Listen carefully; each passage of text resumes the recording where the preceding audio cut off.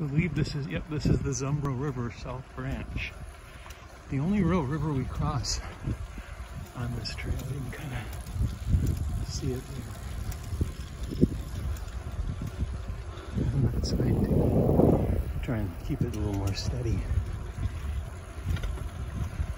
This is just so peaceful.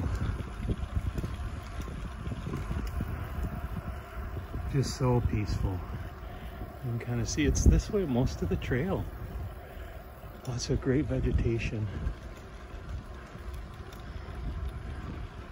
It's a little far from home, about 65 miles from home, so it's a little bit of a drive, but well worth it.